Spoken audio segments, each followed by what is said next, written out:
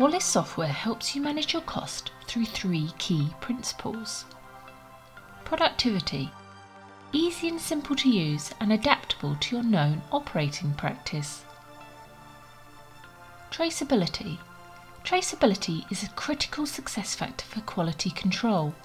Our software adapts to your own user defined traceability parameters and stores them in a protected database. Analysis Data can easily be downloaded or analysed to monitor trends and identify and correct quality issues.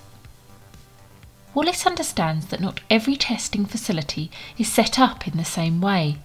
Therefore, the first step is to do a once off customisation of the software to your lab environment. This includes device name, instrument model, and serial number, as well as operator identification. In addition, you need to define your own traceability parameters, for instance, part number, batch number, customer number, or a combination. These bespoke defined parameters will be the backbone of the operating practice and analysis you perform later.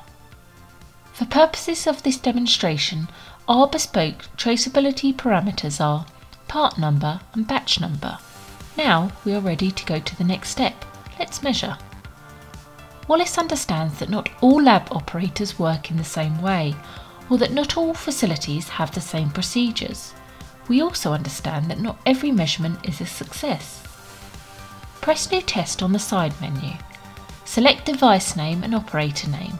For us, this will be H17A Shore Hardness Tester and Ben Smith.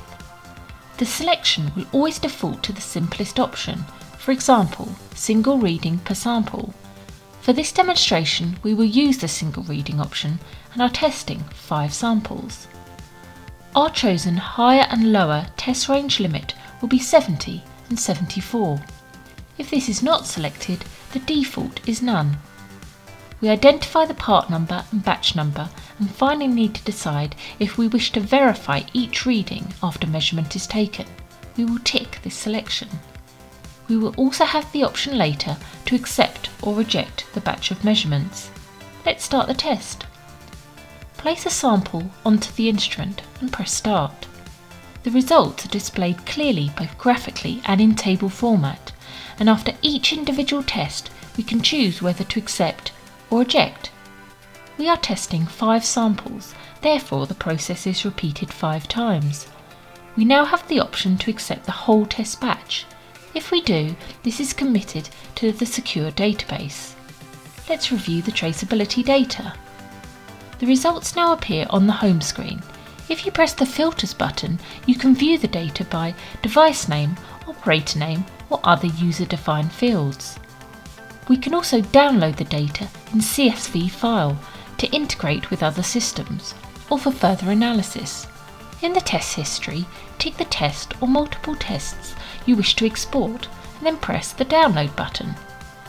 Choose your specified save location and the CSV file will open in an editable format.